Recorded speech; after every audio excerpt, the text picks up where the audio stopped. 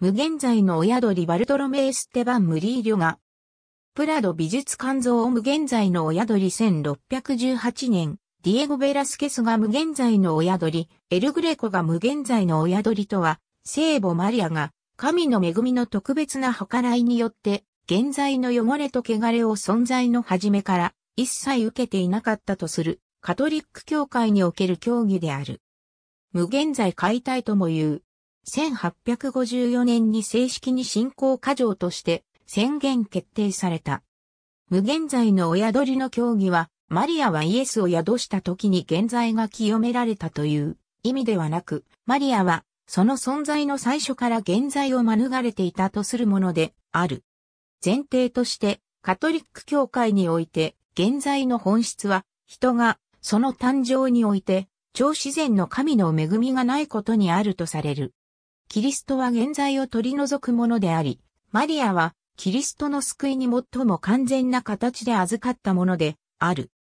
ルカによる福音書1時28分にあるおめでとう、恵まれた方と天使から聖母マリアが言われたことには、現在とは逆の状態、すなわち神が共におられるという恵みが特別にマリアに与えられていることが示されているのであり、マリアが存在の初めから神と一致していることが示されているとされる。こうしたことから、マリアが存在の初めから神と一致し、生涯と死を通じて、人の命の完成に至ったこと、人類に対するキリストの救いの技の最も完全で、典型的な現れであるとし、そのことを示す二つの競技が無限在の親鳥と聖母の飛翔点であるとされている。マリアは古代恐怖の著書において、2世紀リオのエーレナイオス、4世紀エルサレムのキュリロスにより、第二のエヴァとして、ヒッポのアウグスティヌスやアンティオキアのアタナシオスにより、イタリーサギオナルマリアとして崇められてきた。聖母マリアが、その存在の初めから無限在であったとは、最初期に9世紀のパスカシウス・ラドベルトゥスが衝動し、西欧民間においては、中世から広く信じられていた。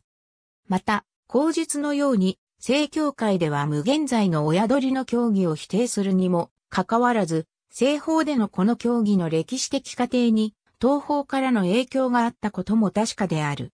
というのは、カイサリアのバシレオスの修道規則に従うギリシア人の修道士が11世紀初期にローマ近郊にやってきて修道院を建設し、東方で祝われていた聖母のお宿りの祝日を広めたのである。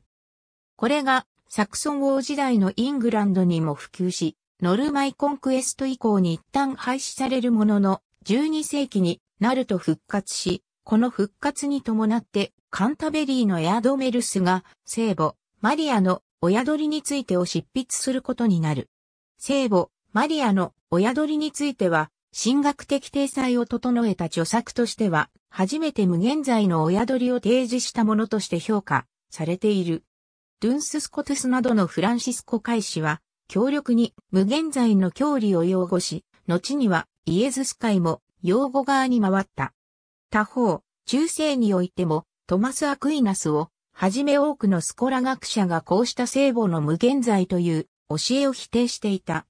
トマスがこの教えを否定したのは、キリストの普遍的な救済力に傷をつけかねないと感じたからであった。また、カンタベリーのアンセルムスは、エアドメルスの死であるが、著書、クールレウスホモ神はなぜに人間となりたまいしか、において、無限在の親鳥を否定した。他にも、否定側に回ったスコラ学者として、アルベルトゥス、マグヌス、ボナベントラなどが挙げられる。無限在の教えは、1449年9月17日、バーゼル公会議において、経験で、教会の典礼、カトリック信仰、まさしき思考、聖書とも合致するものとされた。その後も複数の教皇がこの教えの賛成派を反対派から守るといった言動を取るなどしている。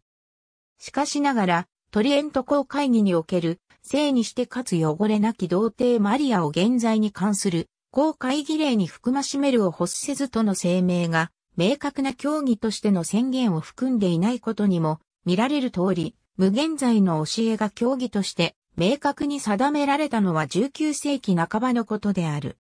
主にスペインなどラテン地域で無限在の親鳥の信心は一般的になっていき、特にイエズス会の用語が強く、1854年12月8日、教皇ピウス9世の会直イネファビリスデウスによって、無限在の親鳥の教義は公認された。このため、カトリック教会では12月8日が無限在の親鳥の祝日となっている。